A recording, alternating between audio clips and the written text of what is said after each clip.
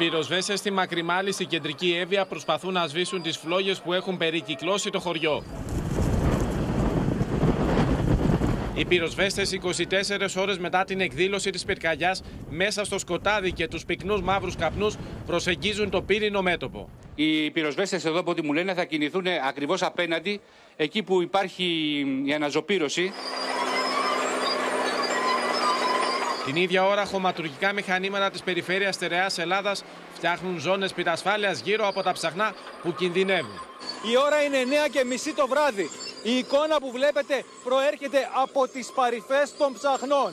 Η φωτιά κατεβαίνει απειλητική. Την ίδια ώρα, γκρέιντερ της περιφέρειας προσπαθούν να δημιουργήσουν αντιπυρικές ζώνες για να κόψουν τη φωτιά.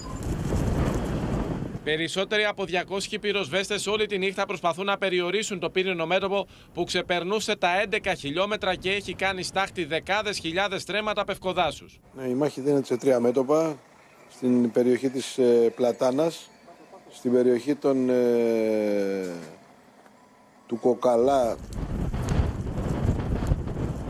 μετά από μια σκληρή και σε πολλές περιπτώσεις άνεση μάχη, οι πυροσβέστες και οι εθελοντές κατάφεραν να σώσουν τις περιουσίες και κυρίως τις ζωές των κατοίκων της περιοχής.